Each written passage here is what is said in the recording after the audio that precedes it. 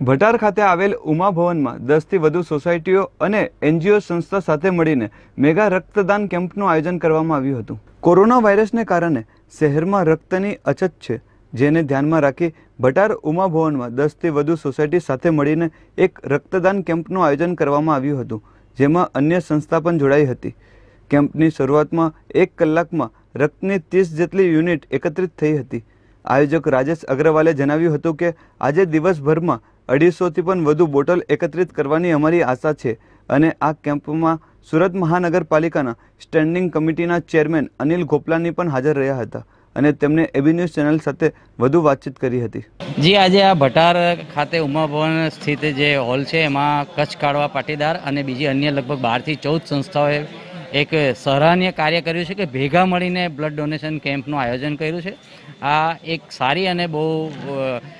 અ, અ, મહત્ત્વની બાબત એ છે કે અત્યાર સુધી એનજીઓ કે બીજા સોસાયટીઓ બધા પોતપોતાની રીતે ઇન્ડિવિજ્યુઅલ કાર્યક્રમ કરતા હતા પણ આ એક જે સંભાવનાનો ભેગા ભણીને કેવી રીતે એક કાર્યક્રમ થાય તેનું આ એક ઉદાહરણ છે સુરતમાં તો બધાને હું શુભેચ્છા અને અભિનંદન પાઠવું છું ને બીજા સુરતીજનોને ને બધાને વિનંતી કરું છું કે આવી રીતે ભેગા મળીને આવી રીતે એક સરાહનીય કાર્ય કરો मैं राजेश अग्रवाल मैं यहाँ सामने ठाकुर बाग सोसाइटी में रहता हूँ यहाँ सचिव हूँ और लायंस क्लब से भी जुड़ा हुआ हूँ, सामाजिक संस्था से, अग्रवाल समाज भवन से भी जुड़ा हुआ हूँ। और आज ये mega blood donation camp Uma Bhawan Batar road पर हमने आयोजित किया है। जैसे हम लोग सामाजिक संस्था से जुड़े हुए हैं तो ब्लड बैंक से हमारे पास ब्लड की रिक्वायरमेंट आई थी कि आप ब्लड डोनेशन कैंप रखवाइए। शहर में बहुत ब्लड की कमी है। उसी उद्देश्य को हम सार्थक करने 250 प्लस यूनिट्स हम आज इकट्ठा करने के संकल्प के साथ, यहाँ उमा भवन में आजू बाजू की 10 से 12 सोसाइटियों के साथ में,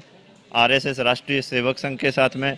हमारे लायंस क्लब के साथ में ये संकल्प पूरा करने जा रहे हैं। अभी तक हमारे पास 30 यूनिट्स एक घंटे के अंदर आ चुकी है और हमारा टारगेट हमें लगता है कि पूरी तरह से सफल होगा और ये सामाजिक कार्य में जो भी डोनर आए हैं, उनका मैं तहे दिल से आभारी हूँ। हमारे सहयोगी सोसाइटी, हमारे प्रेसिडेंट सबका मैं तहे दिल से आभारी हूँ।